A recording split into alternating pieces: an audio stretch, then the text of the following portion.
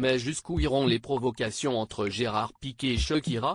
Les deux anciens amoureux ne finissent plus de s'écharper par médias interposés depuis des mois maintenant et ce n'est pas la dernière chanson de la colombienne qui risque d'arranger les choses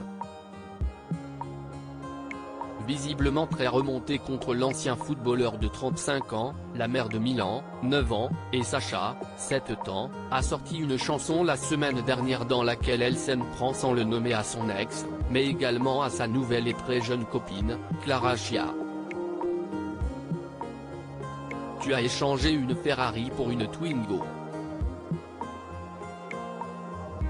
Tu as échangé une Rolex pour une Casio.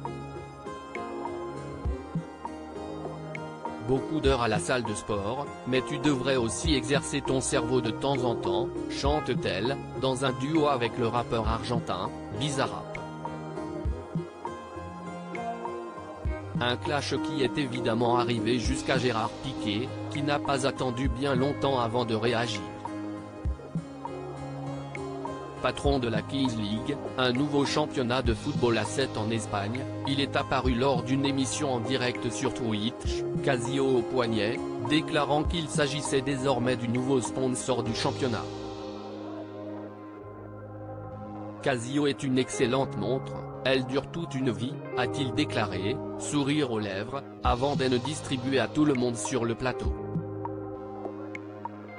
Casio a démenti par la suite être le sponsor du championnat. Mais le Barcelonais ne s'est pas arrêté en si bon chemin et comme on a pu le voir sur des vidéos prises ce 15 janvier, il a été vu au volant d'une Twingo. Gérard Piquet débarque en Twingo, le sourire aux lèvres en effet, pour arriver dans les locaux de la Kings League, Gérard Piquet a opté pour une Twingo blanche dernière génération.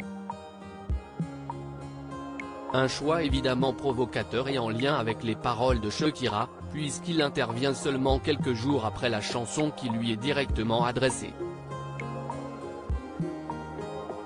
Sur la vidéo, on peut voir le jeune retraité arriver sur place, avant de sortir tout sourire de la petite voiture, faisant au passage une sacrée publicité pour Twingo et la marque française Renault, qui ne s'attendait pas à profiter d'un tel buzz.